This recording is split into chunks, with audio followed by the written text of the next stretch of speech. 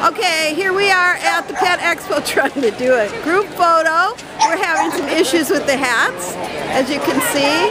But the dogs are being good sports. If I had cookies here, they'd be paying attention. Woohoo! And I'm screaming into the camera.